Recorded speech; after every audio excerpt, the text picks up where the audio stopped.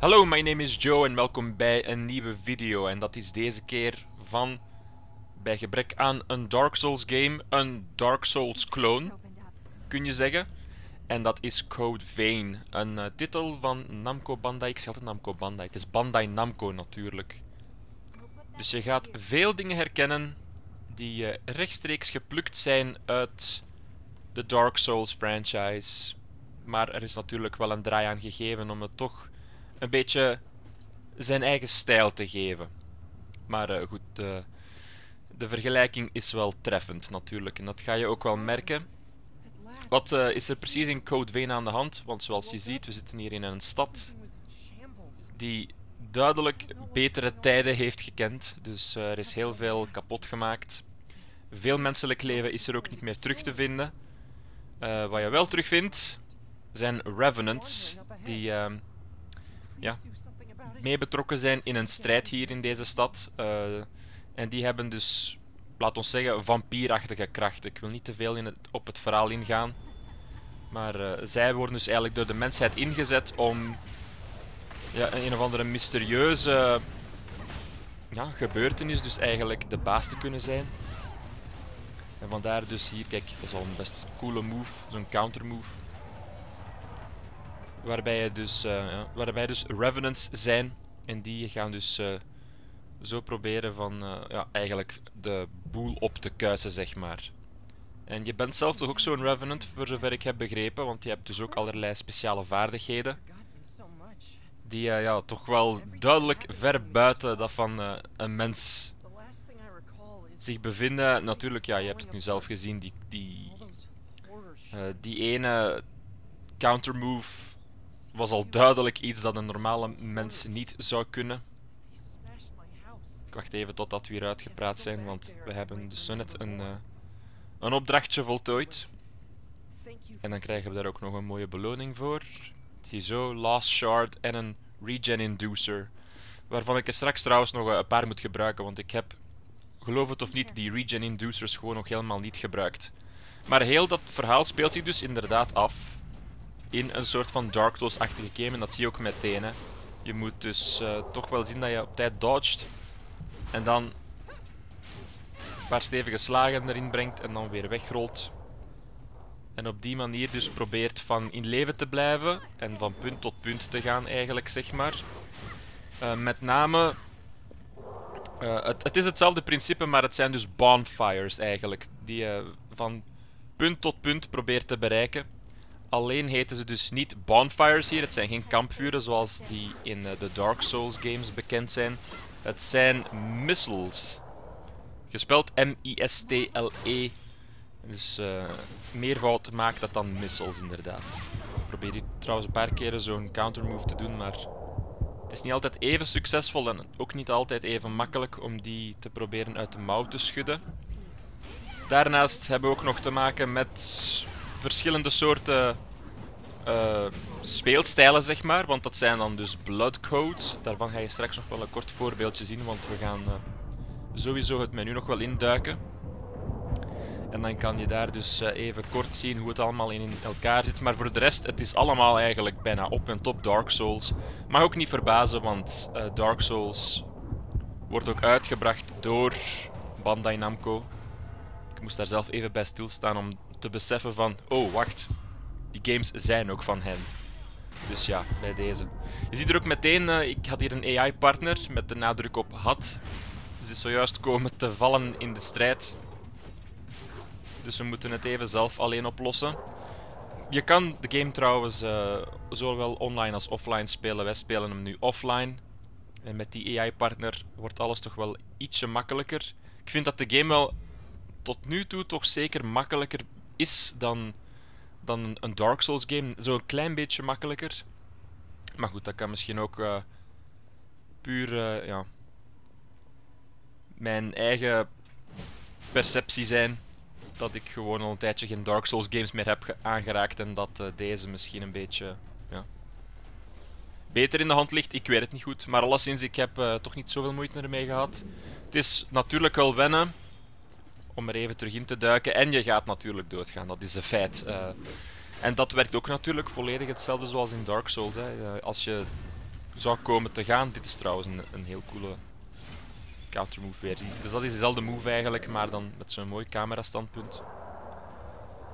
Ehm, als je natuurlijk dus ehm, komt te vallen ergens in een omgeving, dan ga je terug moeten lopen om al die haze, zoals het dan hier heet. Het zijn geen souls, maar haze.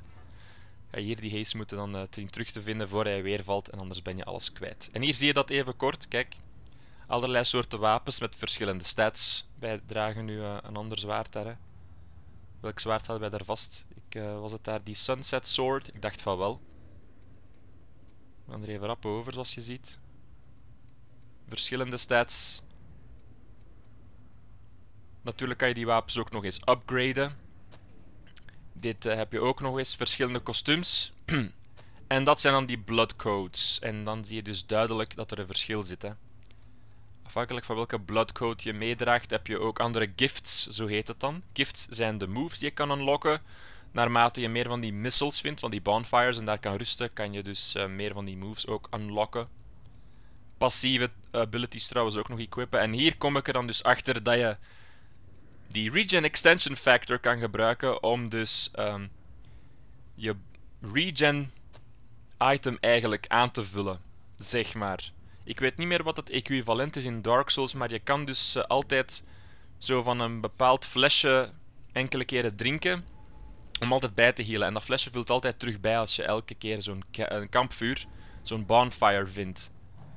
Geen idee meer wat dat het precies uh, van naam heeft in Dark Souls, maar dat helpt natuurlijk wel enorm van die regen extension factors even uh, boven te halen. Absoluut. Want uh, dat is toch wel redelijk belangrijk om soms in het heetst van de strijd te kunnen bijhealen. En ik had het daar net over camera standpunten. Je moet het misschien intussen al gemerkt hebben, maar dat is wel een van de nadelen in Code Vein, heb ik zelf gemerkt.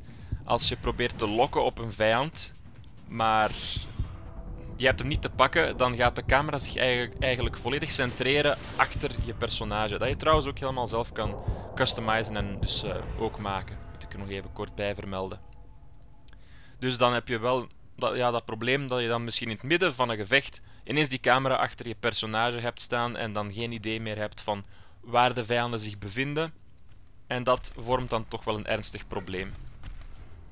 Dus uh, de camerastandpunten, daar moet je wel echt even rekening mee houden. Zorg dat je zeker en vast een vijand goed kan taggen voordat je hem probeert aan te gaan, zoals deze hier. Want deze is een zware. Hier hadden we Mia kunnen gebruiken. Je hebt trouwens ook keuze tussen verschillende AI-partners.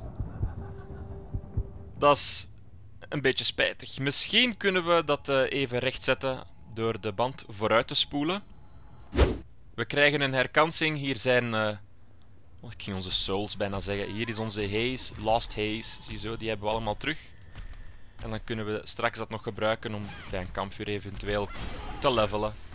Of dat bij te houden om misschien zelfs uh, van die gifts te unlocken, want dat kost ook haze. Of naar de thuisbasis even teruggaan om daar dan wapens enzovoort te, te upgraden, want dat kan dus ook allemaal uiteraard. Een paar moves even misschien in de strijd gooien, heel belangrijk, want we hebben hier toch wel met een redelijk moddervet wezen te maken dat uh, zo snel mogelijk moet opgekuist worden. En dat is een uitstekende counter move. Voilà, en dat is ook een instant death blijkbaar. Meteen gedaan. Ik had er nog zo even met mijn zwaard op gemapt.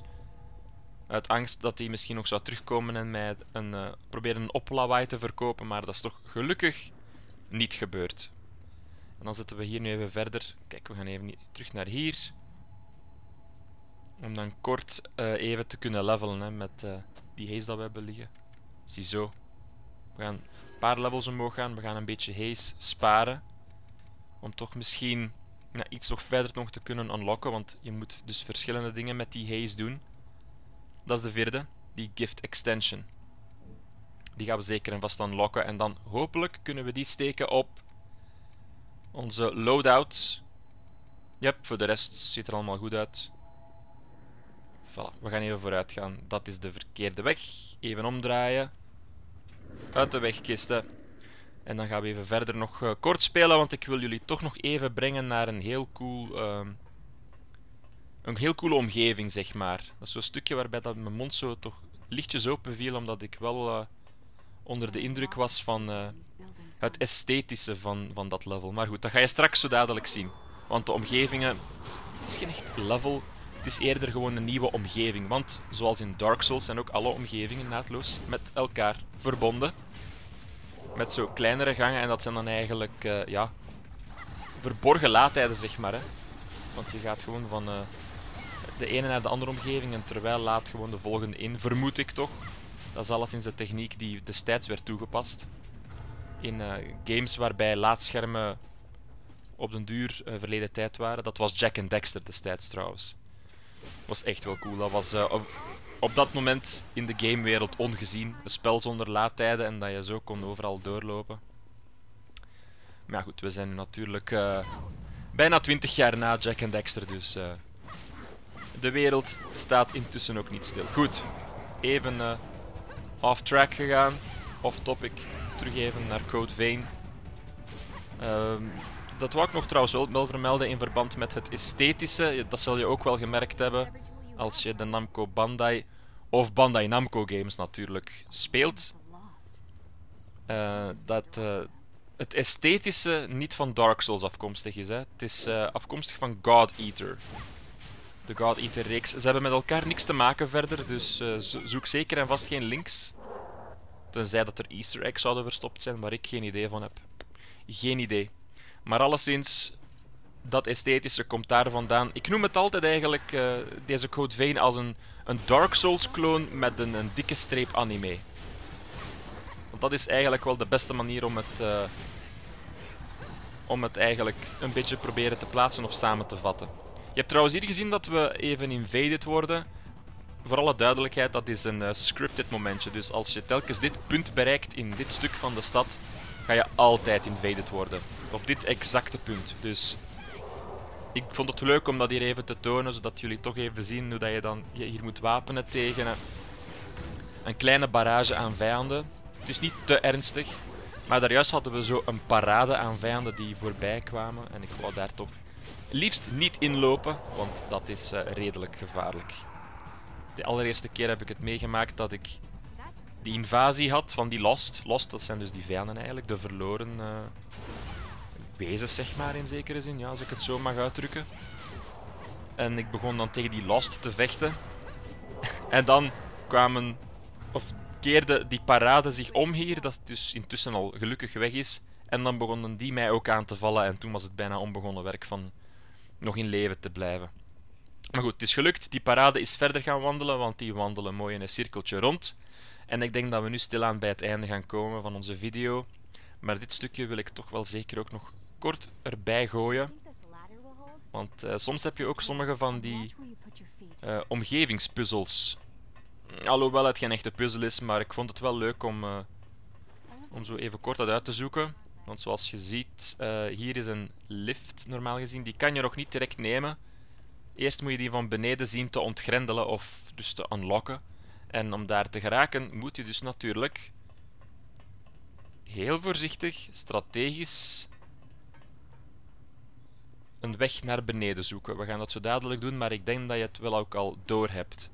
Helemaal naar beneden springen zoals Mia dat doet, dat is heel onverstandig, want je gaat wel degelijk dan dood. Uh, je Revenant, dus je personage, kan belangen niet tegen uh, die uh, impact als je zo van een hele grote hoogte neerkomt. Dus wat moet je inderdaad doen? Die balken, die overlappende balken eigenlijk zo gebruiken om je een weg naar beneden te zoeken. Ik kwam er ook maar achter door het gewoon even te proberen. Ik zeg, oh, we gaan dat eens zo proberen uit te zoeken. Het is een, een platformtrucje dat wel al eerder is toegepast in andere games uiteraard. Maar het blijft leuk. Dus op die manier voorzichtig van trapje naar trapje, enfin, van, uh, van brugje naar brugje, zo naar beneden gaan. En dan gewoon hopla 3 onze reis verder zetten. En hier is dan die lift. En die gaan unlock je dan. En dan moet je niet altijd dat hele platformstukje opnieuw doen. Maar ik denk dat wij intussen wel hier kunnen afsluiten. Er is trouwens ook een Season Pass. Die komt... Uh... Ik zeg die komt eraan. De uitbreidingen komen eraan. Uh, de Season Pass die is al beschikbaar. Waar dat dus een paar expansions gaan in zitten. Wat die precies gaan inhouden, geen idee. Grote verrassing nog. We gaan meteen uh, Even een beetje regen gebruiken om bij te laden. Code Vein, intussen uit sinds 27 september al. We maken uh, wijselijk gebruik van de tijd die we hebben. Kijk, dit is een prachtig panorama. Dit wou ik jullie zeker nog tonen voor het afsluiten. Uh, de tijd die we wijselijk dus gebruiken in oktober, waarbij er toch iets minder topgames uitkomen of grote titels. Om dus even wat september games nog erdoor te halen. En te spelen. Zo. Wij gaan hier intussen verder doen, want wij hebben nog een, een grote reis verder te zetten in Code Vein. We moeten nog uh, als volgende uitdaging proberen van hier ondergronds onze weg te zoeken naar uh, dat midden daar, die uh, ingestorte gebouwen, die, die gigantische put van bovenaan van aan de oppervlakte. Dus wij hebben nog wat werk voor de boeg. Dus opnieuw Code Vein, intussen uit sinds 27 september. Voor Dark Souls fans een grote aanrader, alleszins. Uh, voor de rest, misschien even wachten totdat die wordt afgeprijsd, maar het is uh, niettemin een best entertainende game. Waarbij tactiek, inzicht en geduld beloond worden. Voor meer informatie omtrent Dark Souls en rond Code Vein zie ik, ben ze nu al eigenlijk aan het verwisselen met elkaar. Sowieso de Namco Bandai of Bandai Namco, want die haal ik ook alle twee door elkaar. Uh, die sociale media in de gaten houden of de website van Bandai Namco. Daar vind je ook alles terug. Hopelijk kunnen wij misschien ook wel eens jullie uh, een glimp geven van de uitbreidingen zodra die verschijnen. Op naar de volgende game, zodra we hier eerst uh, het verhaal van Code Vein volledig hebben kunnen uitspelen. En dan zien we jullie hopelijk dus in een volgende video terug. Bye.